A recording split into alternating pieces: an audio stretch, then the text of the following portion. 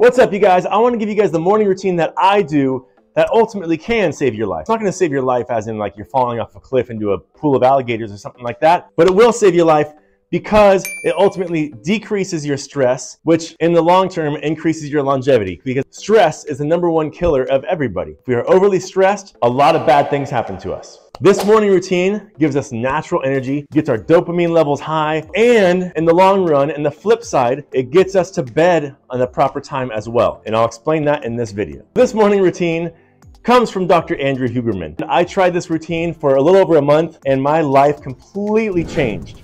There are times where I don't follow through with some of these things and I feel it. So in this video, I'm gonna give you guys four of my morning routine activities that can completely change how your day and night go. Starting off, number one, the first thing you do when you wake up, you make a beeline for natural light.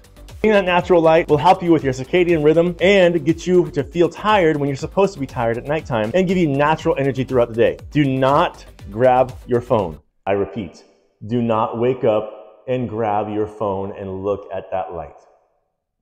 Bad for you. No, no. Getting that natural light is extremely beneficial.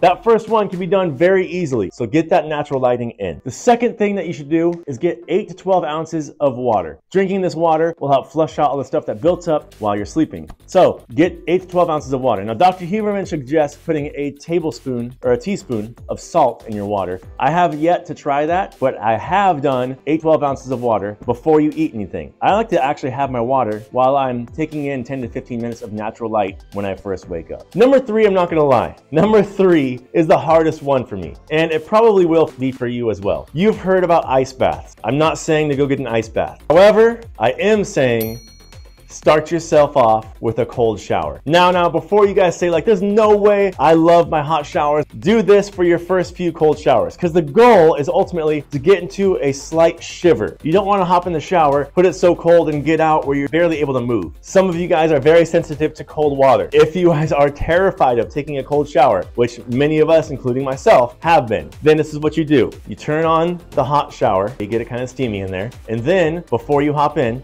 you turn it down to cold. You get ready, you brace yourself, get yourself fired up as if you're about to run a marathon, and then you hop in and you take in that cold shower. You get it running all over you, you start getting shivering. Try to go, count yourself, to like 30 seconds, preferably a minute, but a minute is hard. You'll see once you try it. Try to get yourself to 30 seconds, and then from there, you can warm it up a little bit after that. Okay, that's your starting point for your cold shower. You can progress later on, but that is what I would recommend to get your starting point figured out. And don't be afraid, cold showers, you guys can do it. Try it, please try it. And then this fourth one will help you with your energy levels throughout the day. Number four, if you guys are coffee drinkers, and chances are if you're over 30, you probably are a coffee drinker. If you guys are a coffee drinker or have some sort of caffeine, wait 60 to 90 minutes before you have any caffeine. This will give you your natural energy levels up in the very beginning. The caffeine will be more effective for the rest of the day, and you will not end up with a crash period later on. If you have your caffeine too soon, there's a good chance you're gonna hit near the end of the day or middle of your day where you have to have another cup of coffee or you get that crash. If you go 60 to 90 minutes without caffeine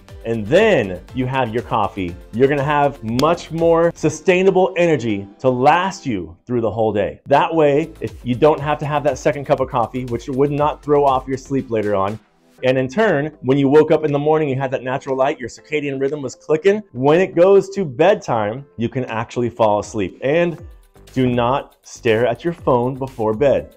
Put these things, put them away. Okay, I know you guys, everyone already knows this. Everyone already knows this. We just have to follow through. If you want to live a healthy and happy lifestyle, these little things you have to change. Try this four step process for your morning routine. I guarantee you, you will feel better. If you have questions about health and fitness and you want to exercise, you want to get healthy, you want to have, have some questions about nutrition, let me know. I want to help you out. I love trying these things out myself and seeing how good I feel at the end and sharing, sharing them with you in the long run because I want you guys to feel what I feel. I want you guys to play with your kids and have energy to play with your kids. Not go home and be like, I don't want to do this right now. You want to go home and you want to play. You want to be a good husband, a good mom, a good father, a good whatever you are when you get home. Be the best you can by doing these little changes. Make these sacrifices to make yourself better all around. Rock on, everybody. You got this. Cold showers. Do it. You got it.